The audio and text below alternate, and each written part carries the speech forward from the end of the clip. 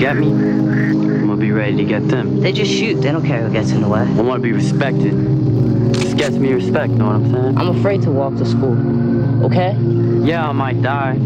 Everybody dies. Kids shooting, kids getting shot. They're all victims of gun violence. The killing won't stop unless you help stop it. Call 1 800 We Prevent for free information. Not one more lost life. Not one more grieving family. Not one more. I don't want to die. The Chinese government is demanding an apology from the United States for Sunday's collision, and potholes in Hays County are causing problems for some residents. Good afternoon, I'm Lizette Luna. And I'm Shauna Ware. These stories and more up next.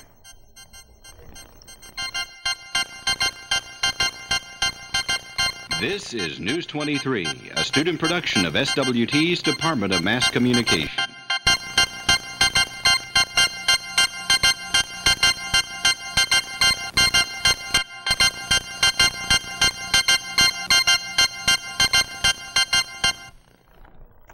China's president is demanding that U.S. officials apologize for Sunday's collision. Yesterday, the Chinese government blamed the United States for the collision of a spy plane and a trailing Chinese fighter jet over the South China Sea. The Beijing government says Washington should take responsibility for the incident.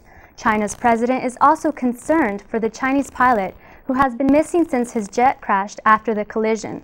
Washington wants its plane and 24-member crew returned to the United States immediately. Vice President Dick Cheney cast a tie-breaking vote in the Senate yesterday, approving a GOP-backed amendment to the budget resolution. This amendment will allow budget writers to spend up to $300 billion on prescription drug coverage for Medicare. Cheney is expected to make more tie-breaking votes this week as the evenly divided Senate votes on the president's budget and various amendments. This was the vice president's first ever tie-breaking vote. President Bush's current tax plan is on the verge of losing support from a key moderate Republican. Democrat Senator John Breaux is offering a comprom compromise tax cut plan, and if Republican Senator Jim, Jim Jeffords signs the compromise, it would make a Senate vote for Bush's plan highly improbable. Breaux's compromise calls for a smaller tax cut of $1.25 trillion, and another Republican senator has already signed it. Some Democratic senators gathered earlier today to earn the public support against Bush's 10-year, 1.6 trillion tax cut. Senators Barbara Boxer and John Kerry said Bush's plan is the stuff of fantasy and cause for worry. A spokesman for Jeffords says the senator will stick with Bush's plan only if he lowers the tax cut. The House could vote today on legislation that would repeal the estate tax at an estimated cost of $193 billion over a 10-year phase-out period. Some prominent wealthy individuals campaigning against the repeal say it will hurt philanthropy. Sponsors of its elimination dub this the death tax, saying it creates costly problems for heirs of small businesses who often have to sell assets. African American business leaders are running full-page ads in newspapers today in support of the measure. This legislation is a major piece of President Bush's $1.6 trillion tax cut plan. With so many co county roads in Hays County, there's constantly a lot of construction to be done. Marcy Laneberg has more. Hays County is made up of four precincts which cover Kyle, Dripping Springs, Wimberley, and most of San Marcos. Many of the county roads in these precincts have potholes or other road conditions due to traffic flow, heavy rain, or because the road wasn't built well to begin with. Every year, inspectors rate the roads, and the county commissioners of each precinct prioritize them in a list. Hays County Road Department officials say the priority of the road has a lot to do with its location and how much traffic is on it. The road department is working on about 10 different high priority county roads right now. But many Hays County residents think it takes too long. San Marcos residents Don and Esther Blevins made a complaint about potholes on their road last month and say nothing has been done. Well, we've had so many promises. Seeing is believing. That's right. Well, that's this week is the end of the month, so uh, I haven't seen anybody yet complaint has been made and a work order filed, an official inspects the road. While potholes should take two to three weeks to be fixed, larger projects, such as resurfacing, might just have to be put on next year's budget. They try to make a schedule that's fair, but there's so many miles of roads. I think we said 740. miles of roads in these areas, the different precincts that have to be repaired. The list just piles up. Freeman says pothole problems should get better because of a new patching machine the department bought. She says the machine will make filling the holes much faster and the repairs last longer. For News 23, I'm Marcy Laneberg. Walt Disney World is recruiting SWT students for paid internships for the summer or fall. Disney hires about 3,000 students from 400 universities each semester, and right now there are 25 SWT students working in Orlando. College recruiter Jenny Doherty says students from all different majors apply for the program, and you can even earn college credit for some classes. Recruiters were here on campus earlier this week and held a presentation at the Student Center. But if you missed it, you can go to their other presentation today at Austin Community College or tomorrow at UT Austin from 6 to 8 p.m. A mass communication professor is retiring, and today is the last day to vote for ASG candidates. Those stories and more coming up on News 23. Stay with us. Pretty Trashy circle, the circle that helps this circle. It starts when we recycle trash at home. It's completed when we buy products made from recycled materials. Check the label for something called post-consumer recycled content. Then buy the highest percentage of it you can find. Complete the circle. Call 1 800 CALL EDF for your free Buy Recycled shopping guide. 1 800 CALL EDF.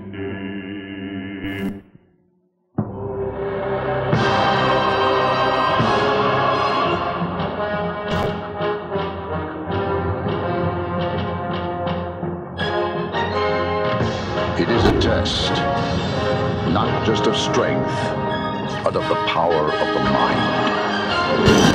And if you complete the journey, you will be changed forever. The few, the proud, the Marines. The U.S. Postal Service plan to end Saturday delivery is met with criticism by congressional leaders today. Both Republicans and Democrats agreed it would be one of the worst options for the Postal Service. The cost cutting proposal comes on the heels of a projected $3 billion revenue loss this fiscal year. The Postal Service cite rising fuel costs, increased competition, and use of the Internet as the reasons for the loss. In June, the Postal Service plans to propose another rate increase for the postage stamp effective next year. The conclusion of a review in Florida says that George Bush is the winner. The review included more than 64,000 ballots and was conducted by the Miami Herald and USA Today. According to the study, Bush's margin of victory would have more than tripled had votes been counted using standards advocated by Gore. The newspapers report that using very restrictive standards as advocated by Republicans, Gore could have won by three votes. While the review favors President Bush, the newspapers point out that the margin would have still have left election too close to call. ASG is having elections for the upcoming school year today in the Quad and the LBJ Student Center Mall. The polls opened yesterday at 9 a.m. and will close tonight at 7 p.m. Sophomore Daniel Tangumo was the only candidate for president on the ballot, but a write-in candidate Melissa Rood has taken the lead by 20 votes in last night's count. ASG senators have been ca campaigning in the Quad this week to encourage students to vote after the voter turnout decreased last year by over 1,000 students. Election coordinator Keisha Rogers said yesterday's voter turnout was low, but ASG is expecting more students to vote today. In a short four months, one of, the, one of Mass Communication Department's most familiar faces will retire. With it comes the opportunity to reflect and look ahead. News 23's Shelley Hallman has this special story. Is audio since 1977, Professor Robert Schrader has been a devoted teacher and leader at SWT. But come this May, students and faculty will say goodbye to a man esteemed by colleagues as the quintessential professor as he enters his retirement. 24 years ago, Schrader left a life of news directing and freelance to become the first radio news professor at Southwest Texas State. At the time, there was no public radio station at SWT, but after years of hard work, a frequency was secured. In 1992, Schrader, with the help of others, established KTSW. It will be hard to replace the now general manager of KTSW and instructor for many. Colleague Lori Fluker says he is someone she doesn't want to see go and remembers their first encounter with a smile. I came in and I sat in the same office, and uh, Bob was here, and I gave Bob every joke I had in my joke book, and he never cracked a smile. He was extremely intimidating, very professional, uh, and I was scared to death of it. But Students agree that underneath the hard front is an instructor devoted to preparing his pupils for the real world. Um, I enjoy the lab so much. I love practicum. I love, well, I like the TV better, but I wouldn't have known that unless I had taken this class. So it definitely made a lot of choices for uh, later in life a lot easier to make. Most of all, Schrader says he will miss interaction with his students, and it is their energy that has kept him young. He has always enjoyed watching his students succeed and hopes to continue watching their success. Hope that the students I've had, some of them anyway, will become leaders and, and will be persons of integrity in the business and, and uh, will insist that things are done by a certain set of standards. But the time has come for him to move on to a new phase of his life and set his alarm clock back. He will be missed at SWT. For News 23, I am Shelley Hallman. A Virginia man accused in the so-called air rage trial has been acquitted of all charges. The jury cleared John C. Davis yesterday of the single count of aggravated assault. Davis was on trial for allegedly breaking an airline ticket agent's neck during a hostile confrontation. Prosecution witnesses said 31-year-old Davis attacked a Continental Airlines agent after having to endure a two-hour delay at Newark International Airport. But defense witnesses said the agent grabbed Davis's neck, and Davis simply acted in self-defense. Former President Bill Clinton is visiting areas in northern India that were affected by January's earthquake. Today, he visited the town of Anjar, where some 2,500 people died in the earthquake. Mr. Clinton joined a group of school children to walk through what used to be a narrow street. Over 200 children were parading through that street on India's Republic Day when the earthquake struck, and walls came crashing down on them, burying almost all of the children. Clinton said he wanted to see this village because he had read so much about it and he just wanted to see the children. He was greeted at the village of Ratnal with a mark on the forehead, which is a greeting sign from the people. The former president is well liked in India, particularly because of his efforts in the last two years of his presidency to build closer relations with them. Muggy and sticky weather. How long will it last? Margarita Lopez is up next with your precision forecast. Terrell Bishop is angry and taking to the street again tonight. To take it back from pushers and gangs and make it safe for his four-year-old. We go out there and patrol the streets and talk to the youngsters. Terrell is a mad dad. Family men who work with local authorities to keep their neighborhoods safe. We try to get them away from the gang life because a lot of us that's part of Mad Dads are ex-gang members. It's time for the men to stand up and be men and take their part and do what is needed so our young kids can grow up in a safe environment. Just making a lot of people feel a lot safer by us being out there, walking around. Every child should have a man in their life, a positive man in their life. Not everyone has to take to the streets, but everyone can take a step to help kids. Call us. We're fighting for the children. Whose side are you you believed in me, I can believe in me. I can believe in me. Because you pushed me to be because better. you pushed me to be better. I learned to push myself. push myself. Because you showed me respect. Respect. I respect others. I respect myself. Because you showed me a place. I can use everything you taught Everything me. you taught me. I found my place. I have found my place. This is my place. For all the young men and women in the United States Air Force, there was one person who showed them the possibilities and opened the door.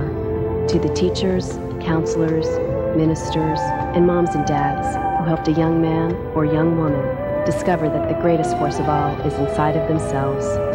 We thank you. And more importantly, Thank you. Thank you. Thank you. Thanks. they thank you.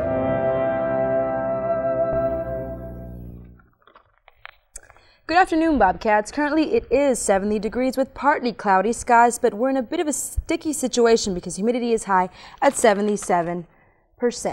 So let's take a look at what's going on around Texas. Up in Amarillo, we do have 77 degrees. Down in El Paso at 70, while in Dallas, they are having 76 degree temperature, and in Austin, 75, while in Brownsville, 86, and in Houston, 74. So let's take a look at what's going around for Thursday's highs. Up in the northern part of the United States, we have 30 degree weather, 40 and into the 70s for the Great Plains. And for the eastern part of the nation, we have 20s, 30s, 40s, and all the way to 70s for the uh, Florida state. And hot and moist tomorrow in for 80, 90 degree weather in the Texas state. Now, as far as California, where am I? 50 degree weather tomorrow, so it'll be a little cooler than Texas at 80 and 90. And for tomorrow's weather across the nation, let's take a look at that forecast. Now, the low pressure system that came into Texas has moved out, but that's what left us with a lot of moist. These lines that you see right here, those that's wind, and that wind's going to pick up tomorrow for uh, at a 15 to 25 miles per hour. So it'll be moist, hot, and windy. So that's not a very good combination, but um, keep your shorts on. Now, as far as the uh, Florida, northern Florida portion of the um, state, they're, they are experiencing severe thunderstorms with possible hail and winds at 60 miles per hour. Now, for tomorrow, we uh, tomorrow we're going to see some clouds coming right into Texas and delivering rain. Probably Friday, late Friday, early Saturday, we're going to see some thunderstorms, nothing severe to, to worry about. And that should be gone mm, Saturday night into uh, Sunday should be good weather for you to go check out the Strawberry Festival. So let's take a look at what the three day weather lookout is going to look like. For tonight, we do have 67 degrees and tomorrow's highs 87 for Friday, 83 with all three days. 10% chance of rain, but humid throughout all weekend. So, how is it looking for the weekend? Uh, it's going to be high 80s and very humid. So blast your AC and put your shorts on because it's not going to be nice. Well, I'll sure do that. Baseball opens up in Texas and the Mavs clinch a playoff spot. Becky Gibb is up next with sports.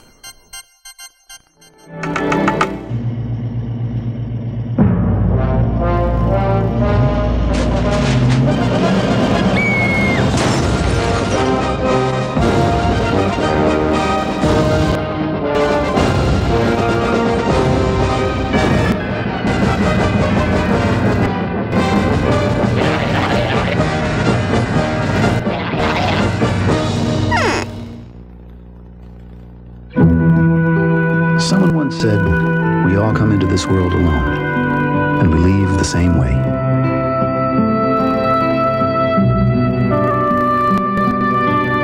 But in between, we have the chance to connect and help each other, to find ways you can do something to connect with the people in your community. Call the Points of Light Foundation. Do something good. Feel something real. They've given our generation a label X. Generation Nothing. They say we have no sense of purpose.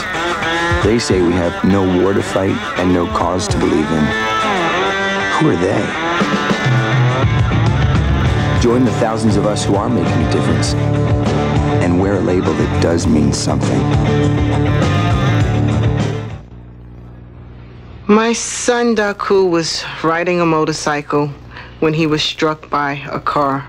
I had spoken to him previously about donating his organs, and it made it so much easier for me to make the decision. I knew that this is something that he wanted. I didn't have to feel guilty about making the decision, doing something that he may not have wanted. Every day I tell people, talk it over. You must let people know what you want. SWT football fans got a glimpse of what is to come for the 2001 season. The annual Maroon and Gold Spring game took place this weekend at Bobcat Stadium. The Gold team edged past the Maroon 15 to 14 for the victory. The game concluded a month of practices and scrimmages. The Bobcats will return to practice later this summer and will take the field again at Bobcat Stadium for the regular season opener August 30th against the University of Arkansas Monticello. The Texas Rangers started off the season on the right foot with a 3-2 win over Anaheim in the front of close to 50,000 fans at the ballpark and Troy Aikman throwing the ball and A-Rod making his home debut. And Galarraga drops this Scott Schoenweis pitch off right field, and Ivan Rodriguez is going to score off this, but Galarraga hustles to make the double. And A-Rod facing Schoenweis again, and he will strike out. A-Rod strikes out again at the bottom of the eighth. And Darin Erstad rips this single to left center field off Kenny Rogers, and Molina will score. Rogers is going to take his frustrations out on the cooler. With bases loaded and nobody out, Tim Crabtree gets Glenallen to hit into this double play. And Rogers seems to be excited about that. Crabtree gets Molina to bounce back to the mound for the final out and the final 3 to 2 Texas.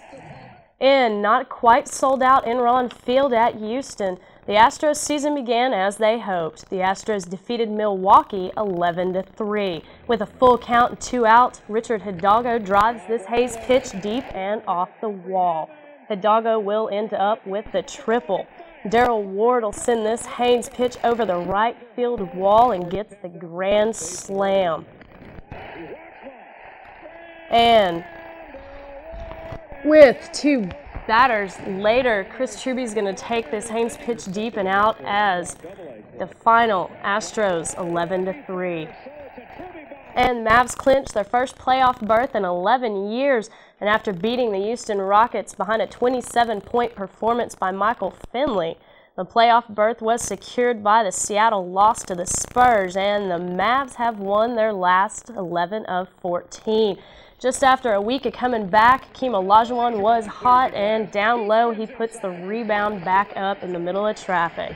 Rockets up by two, and Juwan Howard will answer as he's there for the tip in until Michael Finley decides he's going to step up for the three to pull the Mavs back within two, 38-36 Rockets. The Mavs would pull away with more plays like this from Howard as Howard nails the jumper over Maurice Taylor and Clutch and Mini Clutch seem to be saddened by the loss. Mavericks final 109-97. And Tim Duncan had 30 points and 14 rebounds as the Spurs ended Seattle's four-game winning streak. The victory, combined with Philly's loss to Toronto, gave the Spurs the NBA's best record at 52 and 22. And it was all Spurs and all David Robinson as he drives across the lane and puts the left hook in and gets the foul. Derek, David Robinson's going to find Derek Anderson for the lay-in, and Antonio Daniels is going to fake the three-pointer and slam down the one-hander. DA shows that he's not only going to be left out, but he's going to get the one-hander slam himself. And Tim Duncan will add his own nice moves with a quick pass from Kerr. Duncan's going to add two points to the board. And watch this quick pass as Kerr is under the basket to catch it and set it up. Tim Duncan's going to come back around and find DA for the no-look reverse as the Spurs win 107-89. And softball has a doubleheader heading off today. And actually, they are set to kick that off in about 15 minutes at Baylor. Baseball won last night 13 to 4 against Corpus. So, what else can we expect next from the Bobcats? Well, baseball is on the road against uh, Southeastern Louisiana on Saturday. Tennis takes off uh, Sunday against SFA, and softball will be back around next weekend.